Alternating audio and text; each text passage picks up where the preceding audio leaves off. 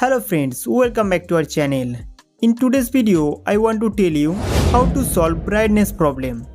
If you have been suffering from a auto brightness problem for a long time, then this video is very helpful for you. If you go outside, the display brightness decreases so much that you cannot see anything. And when you come home, the brightness automatically increases.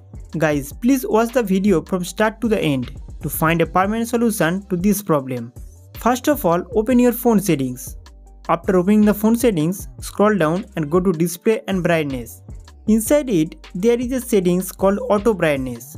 Now turn it off.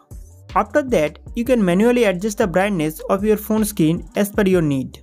If your phone has a sunlight mode, keep it on. Then click on color scheme. After clicking on color scheme, set color to original color pro and set the color temperature to default. Then go back. Reading mode. If reading mode is on, the display will show warmer color. If you use your phone for a long time or if you read a book on mobile, this settings is very good for your eyes. If you don't like this function, then turn off the reading mode. Guys, your phone display has two modes. In light mode, the display color will remain normal and in dark mode, the display will turn black. Tell me in the comment section which mode do you prefer to use.